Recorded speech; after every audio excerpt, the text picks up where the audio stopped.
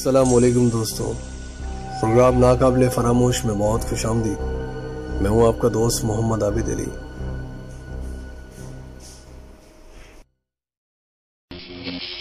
بڑھتے ہیں کہانی کی طرف۔ یہ واقعہ ایک ہمارے بہت ہی اچھے ویور نے، جن کا تعلق کراچی لیاری سے انہوں نے ہمیں بھیجا ہے۔ میں انہی کی سٹوری انہی کی زبانی آپ کو پڑھ کے سناؤں گا۔ انہوں نے لکھا کہ السلام علیکم، وعلیکم السلام۔ میرا نام محمد جواد ہے اور میں شیرشاہ قبرستان، جن کا نام مرورو ہے، وہاں ہمارے عزیز و قارب اور میرے والد کی قبر ہے۔ ہر سنڈے کو اکثر ہم جایا کرتے ہیں اور میں اکیلا بھی جاتا ہوں تاکہ میں کچھ تلاوت وغیرہ کر سکوں۔ یہ واقعہ سکسٹین کے دسمبر میں اور ٹو تھاؤزنڈ سیونٹین کی آمد تھی۔ وہ کہتے یہ واقعہ میرے ایک کزن اور میرے ایک دو رشتہ دار، وہ کہتے میں اپنے کزنس اور رشتہ داروں کے ساتھ قبرستان گیا۔ مرورو قبرستان۔ وہاں پہ ایک عجیب سا واقعہ پیش آیا۔ ہم تلاوت قرآن کر رہے تھے قبر پر، کہ اچانک سے ایک شولڈر پہ ایک پتھر گرا۔ میرا دوست پریشان ہو گیا کہ یہ پتھر آ کے کہاں سے لگا۔ وہ میرا کزن بھی تھا۔ تو ہم نے اوائڈ کیا، اس کے بعد دوبارہ کنٹینیو ہوئے اور میرا ایک دوست تھوڑا سا دور کھڑا تھا۔ اب کیا ہوا کہ دوبارہ سے وہ پتھر آ کے اس پہ لگا۔ تب وہ تھوڑا سا اس کے ذہن میں تھوڑی سی پریشانی بڑھی، کیونکہ قبرستان تھا اور پھر وہاں پہ ہمارے سوا کوئی موجود بھی نہ تھا۔ ہم نے پھر بھی آگے پیچھے دیکھا، کوئی نہ تھا۔ لیکن ایک بہت ہی عجیب سا منظر تھا۔ کیونکہ وہ پتھر اوپر کی جانب سے آ رہے تھے یعنی جیسے درختوں سے کوئی مار رہا ہوتا ہے۔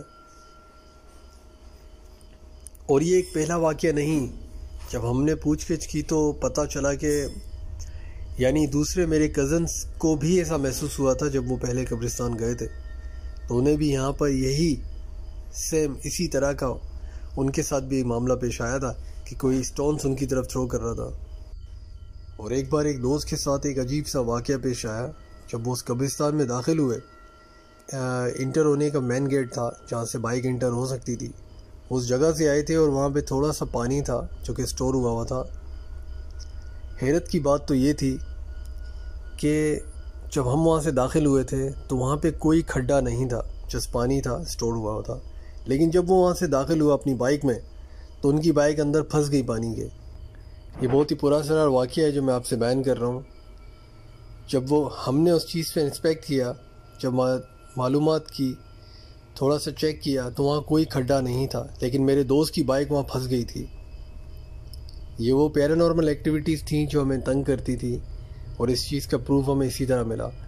اور اس کے بعد بھی پتھر والا واقعہ دوبارہ پیش آیا تھا میرے ایک اور دوست کے ساتھ۔ یہ تھا میرا واقعہ، جو میں آپ سے شیئر کر رہا ہوں۔ بہت شکریہ۔ اور بہت شکریہ جواد اپنا واقعہ شیئر کرنے کے لیے۔ السلام علیکم۔ امید ہے آپ تمام لوگ خیر خیریت سے ہوں گے، ٹھیک ٹھاک ہوں گے۔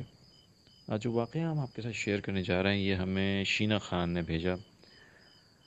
اور وہ کہتے ہیں کہ میرے بھائی پچھلے تیس سال سے دبئی میں رہتے ہیں اور دو سال پہلے جب ہم وہاں ٹرپ پہ گئے، تو یہ واقعہ ان کے بھائی نے ان سے شیئر کیا کہ وہاں جہاں وہ پکنک پر ایک مرتبہ پلان ہوا، وہاں گئے۔ تو ان کے بھائی کے دوستوں کے ساتھ یہ واقعہ پیش آیا۔ ہوا کچھ اس طرح کہ ان کے بھائی سمیت مزید ان کے تین دوست تھے، جنہوں نے ایک ٹرپ کا پلان کیا کہ ہم کہیں گھومنے پھرنے، تفریح کرنے چلتے ہیں۔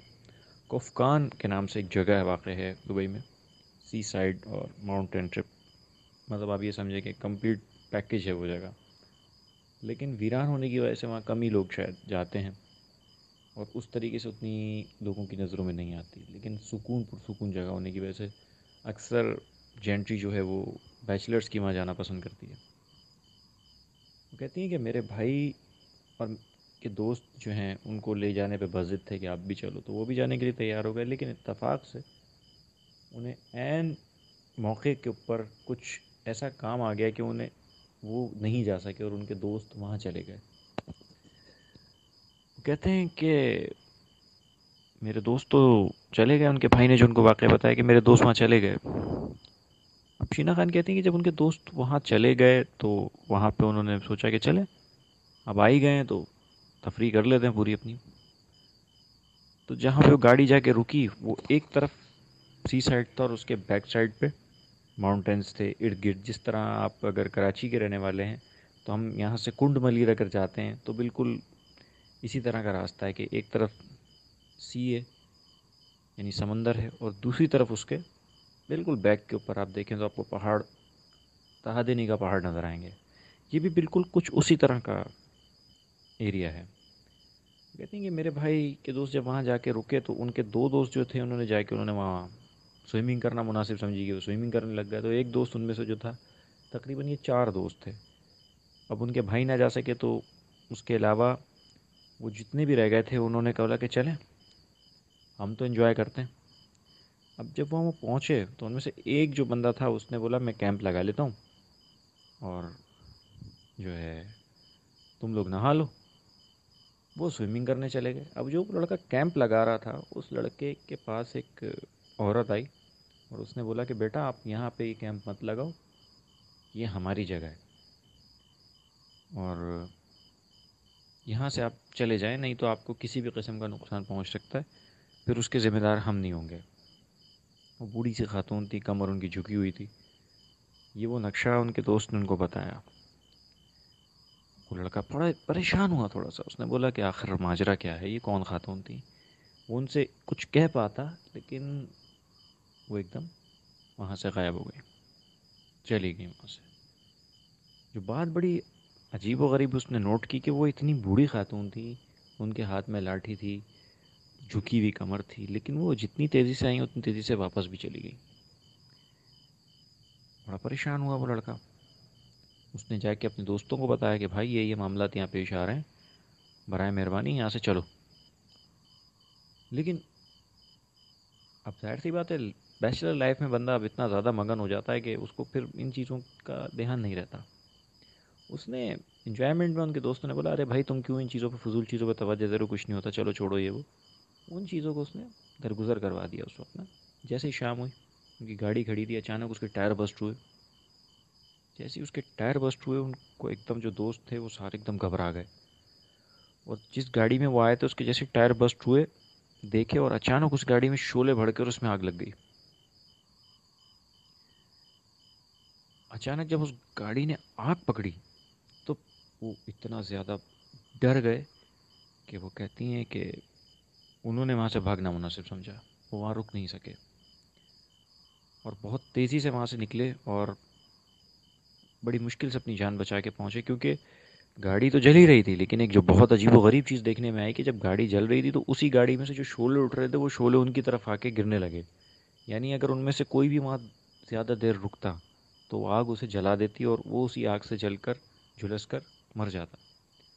تو بہت مشکل سے وہ واپس اپنے گھروں تک پہنچے، کیونکہ ان کے پاس جو گاڑی تھی وہ جل چکی تھی، تمام سامان ان کے پاس جو تھا وہ جھلس چکا تھا، سارا خراب ہو چکا تھا، جل چکا تھا۔ وہ جس طرح بھی، جس طرح بھی ممکن وہ اپنے گھر پہنچے اور انہوں نے تمام واقعہ اپنے دوست کو بتایا۔ ان کا شینا بتاتی ہیں کہ ہمارا جانا بھی وہاں ہوا، لیکن ہمارے بھائی نے یہ واقعہ ہم سے اس وقت شیئر نہیں کیا، بہت بعد میں ہم سے شیئر کیا جب ہم گھر آ گئے، تاکہ ہم کہیں ڈر نہ جائیں۔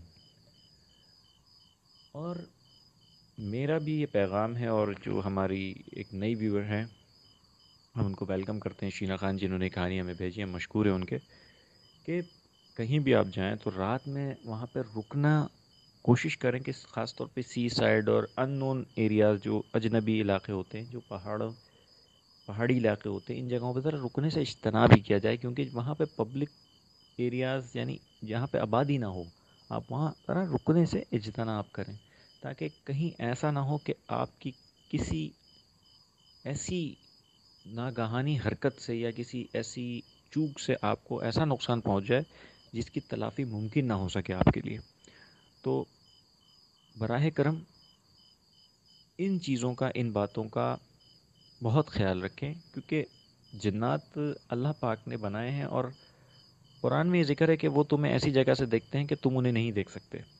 تو ہمیں یہ خیال کرنا چاہیے کہ جس طرح ہم ہیں، اسی طرح یہ بھی ہیں۔ جس طرح ہم زندگی گزارتے ہیں، ایسے یہ بھی گزارتے ہیں۔ بس فرق صرف اتنا ہے کہ ہم انہیں دیکھ نہیں سکتے اور یہ ہمیں دیکھ سکتے ہیں۔ تو امید ہے آپ تمام لسنرس کو ویورس کو، جو اتنے بھی دیکھنے سننے والے ہیں، انہیں یہ واقعہ پسند آیا ہوگا اور وہ اپنی زندگی میں وہ تمام چیزیں شامل کریں گے۔ جن سے وہ فائدے میں رہیں اور ان چیزوں سے بچ سکیں۔